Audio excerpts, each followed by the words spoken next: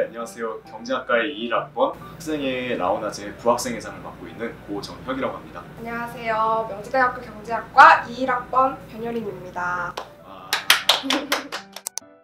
네, 저희 경제학과의 경우 이제 이름에서 알 수 있듯이 경제학에 대한 여러 가지 학문들을 공부하는 과인데요. 경제학이라 함은 이제 시장에서 한정된 자원을 효율적으로 배분하는 방식에 대해서 공부하는 학문이라고 생각하시면 될 것 같습니다. 어, 저희 경제학과에서는 어, 간단하게 생각하면 뭐 원론 이런 것만 배운다고 생각하실 수도 있는데 나아가서 뭐 회계나 경영, 투자 이런 부분도 자세하게 공부하고 있습니다.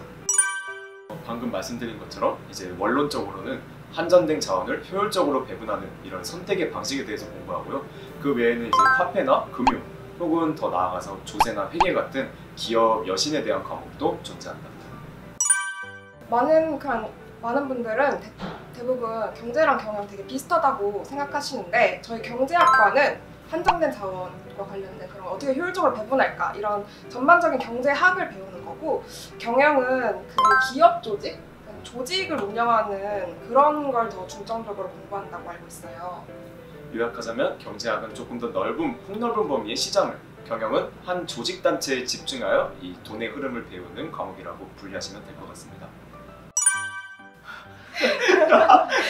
네, 저는 ABC 초코 쿠키라는 걸 골랐는데요. 제가 원래 군것질을 별로 좋아하지 않는데 가끔씩 당이 떨어질 때가 있어요. 그럴 때 이거 하나씩 집어 먹어주면 아주 활기차게 당을 확 충전할 수 있습니다. 저는 이제 고래밥 골랐는데요. 사실 고래밥 같은 경우 이제 고등학교 시절에 수업을 들을 때 원래 피통 속에 넣고 먹기에 이만큼 좋은 과자가 없어요. 그래서 그때 추억을 살리고자 선택도 했고요. 사실 이제 제가 해산물을 좀 닮았다는 평을 많이 들어서 그런 겸사겸사해서 이렇게 해산물 과자 한번 골라보게 됐습니다.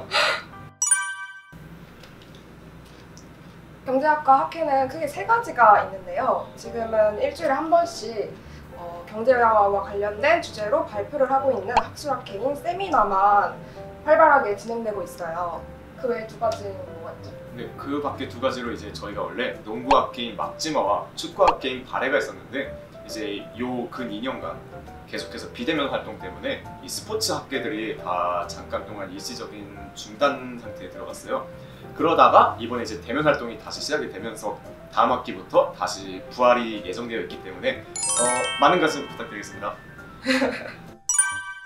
라온하제 학생 같은 경우에 이제 이번에 대면 활동으로 진행이 되면서 학우분들이 비대면으로 지친 이 만남의 욕구를 조금 더 충족시켜 드리고자 homecoming day나 혹은 친목 활동 등이 조 활동을 계속해서 진행하고 있습니다. 네, 말 그대로 homecoming day 그 미국에서 되게 많이들 하는 고등학생들이 많이들 하는 그런 파티죠. 스파이더맨도 갔었죠. 네네 그런 파티.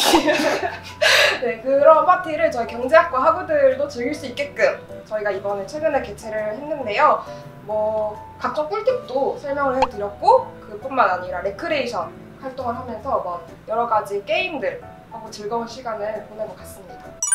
저희가 경제를 공부한 과다 보니까 당연하게도 뭐 금융 혹은 경영, 연구원 이런 다양한 분야로 진출하면 당연하고요. 그 밖에도 이제 기업 여신이나 혹은 펀드 매니저 혹은 경제 관련된 주식 리포터 등 다양한 분야로 진출한 선배님들이 많이 계시기 때문에 대략적인 틀 이렇게 알고 계시면 될 것 같습니다. 어, 저 같은 경우에는 뭐 어느 사람이 안 그렇겠냐마는 돈을 좋아합니다. 그래서 어, 돈을 좋아하니까 한번 돈을 공부해보자 싶은 생각으로 이제 경제학과에 지원을 했고요. 사실 이제 명확한 꿈이 있다기보다는 꿈을 찾기 위해서 그나마 관심이 있는 학문에 진학을 했다고 보는 게 맞다고 생각합니다. 저는 단순하게 고등학생 때 경제라는 사회 과목을 공부하면서 생각보다 성적이 좋은 결과를 내가지고 단순하게 그 이유로 경제학과를 선택했었는데요. 최근에 다니면서 경제라는 학문에 더 크게 매력을 느끼면서 되게 적성이 잘 맞다고 생각하면서 다니고 있습니다. 경제학과는 다른 과들은 저, 또 어떤 식으로 되는지 잘 모르겠지만 경제학과 같은 경우에는 조금씩 쌓아간다는 느낌이 있는 것 같아요. 뭐 아까 말씀드렸다시피 원론을 배웠으면 그 다음 단계, 그 다음 단계 배우는 그런 느낌인 것 같은데 커리큘럼 같은 경우에 이제 뭐 당연히 기본적으로는 선행 과목이 있고 그 다음에 심화 과목이 나눠져 있는 편이긴 한데요. 예를 들면은 1학년 때 듣는 미시경제학원론 이후로 2학년 이후에 듣는 시장 및 기업 이론 혹은 2학년에 듣는 조세와 회계 이후에 회계 원리 이런 식으로 순서가 정해져 있는 과목들이 몇 가지가 있어요. 하지만 이 순서를 굳이 지키지 않고서도 어, 나는 이미 어느 정도 알고 있으니까 상위 과목을 먼저 들을래 하신다면 상위 과목을 먼저 선택할 수도 있는 굉장히 유동적인 커리큘럼이 마련되어 있음 강조드리고 있습니다. 어, 일단 뭐 경제 용어 같은 건 많이 어렵잖아요. 근데 경제학을 공부하다 보면 자연스럽게 접하다 보니까 뭐 뉴스나 뭐 정치인들 경제 관련 토론할 때 그런 거 좀 더 쉽게 볼 수 있었던 것 같죠.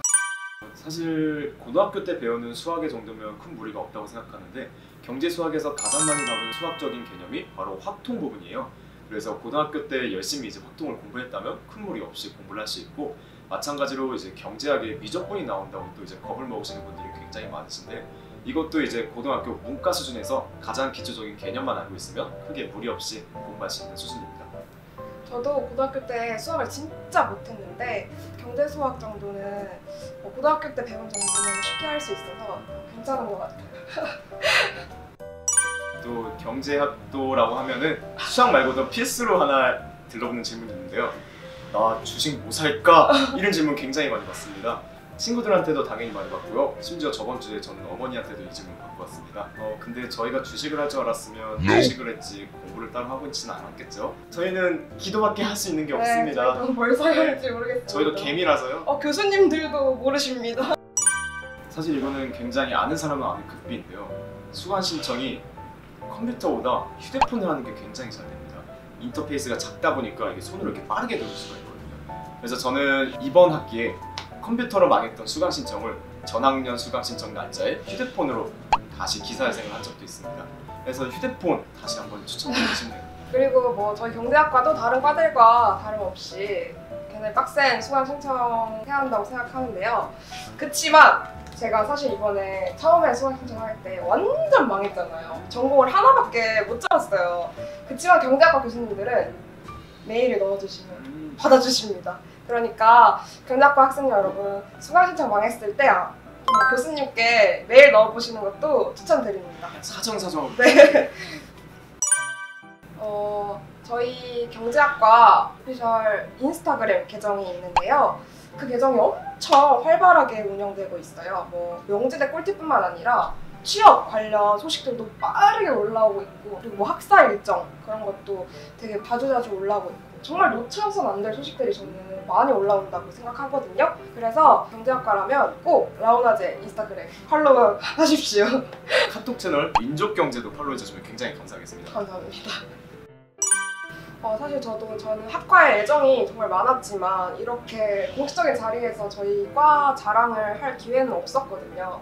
하지만 이번 기회를 통해서 이렇게 편안한 분위기에서 저희 경제학과 자랑도 할 수 있어서 너무 좋았습니다. 사실 이제 어느 정도 얼굴이 계속해서 팔리는 장소다 보니까 저는 이제 학생에서도 계속해서 얼굴이 팔리고 있고 또 그 밖에서도 굉장히 제 얼굴을 아시는 분이 많으세요. 근데 이제 이 자리 같은 경우는 이제 저희 둘이 경제학과의 대표격으로 나오는 자리다 보니까 혹시나 말 실수하면 어떡할까 잘못 말 잘못된 정보를 드리면 어떡할까 하고 걱정 굉장히 많이 했는데 그래도 어느 정도 선방했다고 생각을 합니다. 네, 재밌었어요. 분위기 덕분에. 아, 맞아요, 와. 지금까지 경제학과 1학번 고정혁 변유린이었습니다. 감사합니다. 감사합니다.